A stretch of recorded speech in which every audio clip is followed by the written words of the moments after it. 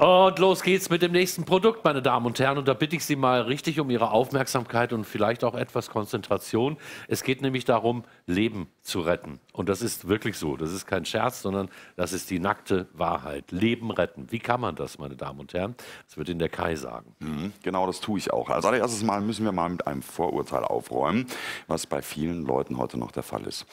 Wenn bei Ihnen mal was passieren sollte und Sie rufen die 112 an, dann brauchen Sie sich keine Sorgen drum zu machen, dass das irgendwas kosten würde, sondern wenn Sie wirklich in einer Notsituation sind und Feuerwehr und Notarzt sollten kommen, dann kommen die, und das wird ganz normal, wenn Sie Kassenpatient sind, mit Ihrer Kasse abgerechnet. Als Privatpatient kennen Sie es, da kriegen Sie die Rechnung, reichen das zu Ihrer Kasse ein und dann passiert das auch. Wichtig ist uns einfach mal zu sagen, dass die 112 einfach eine lebensrettende Tele äh, Telefonnummer ist die Sie unbedingt nutzen sollten. Warum reite ich auf der 112 so rum? Weil wir Ihnen jetzt hier ein ganz einfaches Seniorenhandy anbieten, was unseren sogenannten Garantruf integriert hat. Hier ist es und unser Garantruf ist wirklich eine ganz tolle Sache. Sie sehen diese große SOS-Taste hier auf unserem Handy und da ist es so, wenn ich auf diese Taste drauf drücke, länger als eine Sekunde, dann verschickt dieses Handy, was Sie gerade hier sehen, unser Seniorenhandy, fünf SMS an vorher eingespeicherte Nummern. So, damit fünf Leute sofort wissen, da ist irgendwas nicht in Ordnung, da können Sie zum Beispiel jetzt in den Text auch reinschreiben, Ihren Namen, vielleicht eine Vorgeschichte von einer Krankheit, damit jeder sofort weiß, was Sache ist. Vielleicht schicken Sie es auch direkt an einen Hausarzt.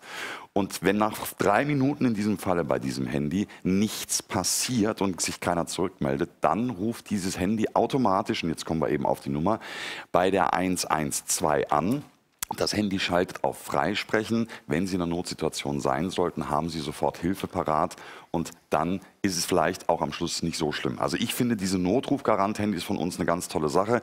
In über sechs Jahren weit über 100.000 Stück davon verkauft und es sind einige dabei, die wirklich schon das Schlimmste verhindert haben. Ne?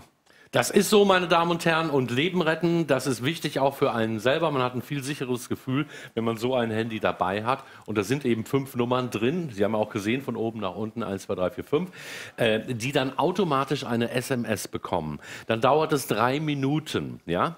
Und wenn nach diesen drei Minuten keiner von den fünf geantwortet hat, Genau. Dann geht es automatisch auf die 112, um das nochmal erklärt zu haben. Ja. Und wie gesagt, meine Damen und Herren, Sie müssen keine Hemmschwelle haben. Sie müssen keine Angst haben, wenn Sie jetzt, äh, ich sag mal, jemanden gerufen haben auf der 112 und es war alles halb so wild.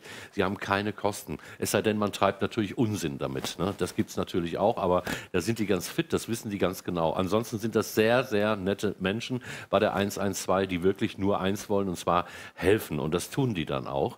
Und deshalb bitte äh, ähm, keine Angst haben, wenn sowas. Sie können die einspeisen. Sie können aber auch Folgendes machen, dass Sie eine andere Nummer einspeisen, genau. ne, speichern. Äh, es muss nicht die 112 sein. Also das ist änderbar. Ich würde es also wenn es von mir ausging, würde ich die 112 drin lassen.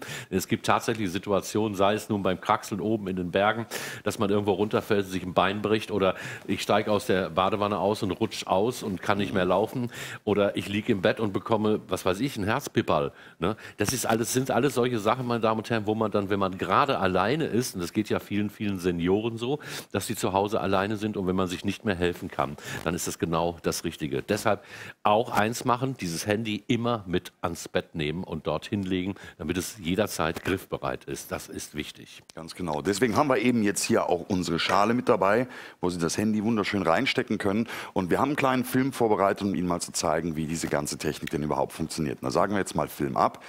Und das ist unsere Sia und der scheint es da gerade im Moment nicht wirklich gut zu gehen. Und äh, die nimmt jetzt das Notruf-Handy und drückt länger als zwei Sekunden auf diese Taste. Lassen so. Sie nicht Ihren Tier irritieren, dass es ein anderes ist, funktioniert genauso. So, und jetzt schauen Sie mal. Jetzt werden die fünf angerufen, beziehungsweise kriegen. Die kriegen eine, eine SMS, ganz mhm. genau.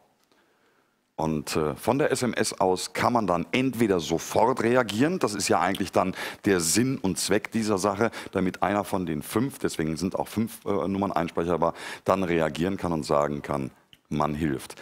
Und gesetzt den Fall, es wäre wirklich mal in einer Ausnahmesituation keiner der fünf erreichbar, dann ist eben die Option da zu sagen, okay, dann wird die 112 gerufen. Und Walter hat es gerade eben schon mal gesagt, natürlich können Sie anstatt der 112 auch eine andere Nummer einspeichern. Wenn Sie zum Beispiel dieses Seniorenhandy als Kinderhandy benutzen wollen, wenn Ihre Kinder also mal auf dem Ausflug unterwegs sind oder Sie einfach sagen, längerer Schulweg, ich möchte einfach, dass die Kinder eine Sicherheit mit dabei haben, dann kann man ja zum Beispiel auch anstatt der 112 die Büronummer vom Papa einspeichern, die normalerweise sonst nicht rausgegeben wird. All diese Dinge sind möglich.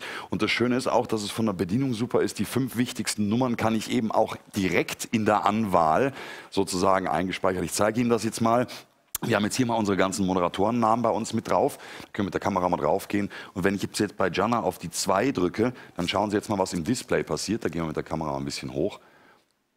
So, da ist dann Jana eingespeichert und dann kann ich eben auch wirklich sagen, ich kann direkt anrufen. Die Bedienung ist super einfach, logisch aufgebaut. Es ist wirklich ein reines Notruf-Handy, gerade für ältere Leute, die eben kleinere Tasten nicht mehr so gut sehen können, ist das eine tolle Sache. Aber natürlich, wenn Sie sagen, als Kinderhandy können Sie es auch jederzeit verwenden. Ich möchte nochmal wiederholen, bitte geben Sie Ihre Adresse, Ihr Alter und Ihren Namen ein, damit man Sie auch findet, falls etwas genau. passiert, meine Damen und Herren. Und dieses Handy immer dabei haben, ist auch ganz wichtig.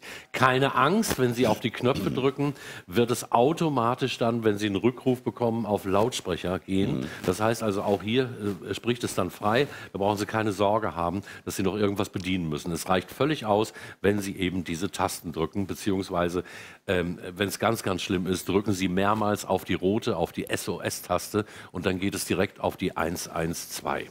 Das Schöne ist natürlich, dass dieses Handy einen Signalton aussendet, wenn Sie auf die SOS-Taste drücken und das auf Lautsprechen auch passiert. Ich habe das in Bonn, in Köln mal erlebt. Mhm. In der U-Bahn war unterwegs im Sommer, es war wirklich brüllheiß und Manchmal passiert das leider Gottes auch bei der KVB. Viele, die jetzt in Köln vom Fernsehen sitzen, werden sich gerade kaputt lachen.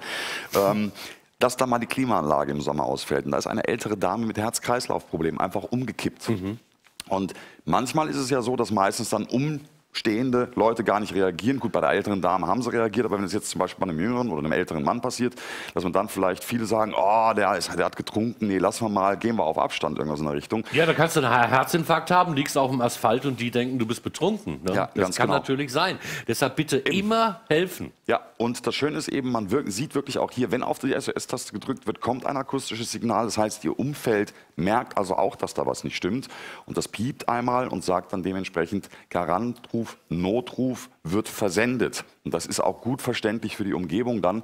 Und dann haben sie eben auch wirklich die Gewähr, dass im Notfalle bei ihnen die umstehenden Menschen eben auch sehr schnell reagieren können. Vielleicht im Erstfall dann wirklich ja, die Sekunden oder Minuten rauszuholen am Anfang, die einem dann wirklich das Leben retten können. So, da haben wir nochmal das Beispiel. Genau. Nochmal, das ist jetzt ein anderes Handy, ist aber völlig wurscht. Das hat auch einen Garantruf, nur wir haben ja im Moment das andere da, meine Damen und Herren. Und Ganz schau genau. mal, jetzt ist die SMS ist rausgegangen und nun geht sie los und bringt ihr ihre lebenswichtigen Tabletten sozusagen. Mhm.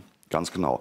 Und wie gesagt, Notrufhandys sind viele ältere Herrschaften haben heute so ein Handy, weil das einfach eine Sicherheit ist. Und in den meisten Fällen, Gott sei Dank, ist ja einer von den fünf, die dann eine SMS kriegen, auch immer erreichbar oder zwei. Es ist eigentlich so gut wie noch nie vorgekommen, dass mal irgendwie gar keiner erreichbar war. Ja. Deswegen sind ja auch fünf Nummern eingespeichert, die per SMS angeschrieben werden. Aber ganz am Schluss sollte es wirklich mal ganz arg werden oder Sie sagen, ich brauche sofort Hilfe, weil ich einen Unfall hatte oder irgendwas, drücken Sie einfach dann mehrmals auf die, SMS, auf die SOS-Taste. Dann sind Sie sofort bei der 112 und ansonsten wird sie eben jemand zurückrufen, da bin ich mir sicher. Nehmen Sie Ihre fünf Liebsten oder Ihre fünf vertrautesten Menschen, das sind meistens Familienmitglieder, ob ja. eben Tochter oder Sohn oder Vater, können auch natürlich jüngere Leute sein, die dann ihre Mutter oder den Vater eingeben, meine Damen und Herren. Und dann, wie gesagt, werden diese fünf Nummern angerufen und die schicken dann ein SMS eine SMS zurück, wenn Sie erreichbar sind. Sollten Sie nicht erreichbar sein, nach drei Minuten automatisch 112 und bitte keine Hemmschwelle. Haben Sie keine Angst vor der 112, das ist nichts Schlimmes. Sie kriegen keine fette Rechnung hinterher, auch wenn, ähm, ich sag mal, wenn Sie sich vielleicht ein bisschen überschätzt haben oder so. Es sei denn, es sind Leute, die machen auf so, so einer Party oder im Geburtstag irgendwelchen, äh, irgendwelche Faxen. Die müssen dann natürlich löhnen. Aber ja. wenn es ernst gemeint ist, meine Damen und Herren, umso besser sagen die Leute dann, dass sie uns geholt haben, auch wenn es nicht so schlimm war. Deshalb bitte die 112. Sie können sie aber rausmachen, Sie können die Nummer auch ändern, wenn Sie das möchten. Nur ähm, ich sehe da mehr Sinn drin, wenn wir die 112 drin ja, lassen. Ne? Artikelnummer. Ja, BX 34 84 die 569. Und ich würde sagen, wenn Sie Ihre Lieben schützen wollen, dann rufen Sie jetzt an und holen sich eins von den Handys.